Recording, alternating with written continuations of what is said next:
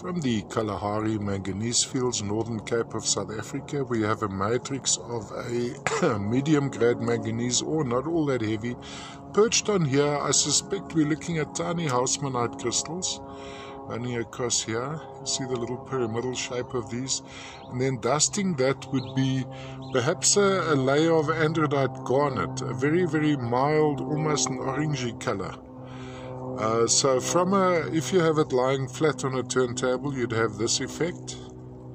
Pretty bling bling, these Hausmannites, uh, black to silver metallic. I would stand it up on a turntable like this. Or actually looking from the top down, we could have a look across like that. This is also pretty appealing. But of course the main point of display, I'd have it going around like this. There you can see those lovely crystals. I think we need to have a closer peek at those uh, little pyramids running across here. See how close we can zoom in on that.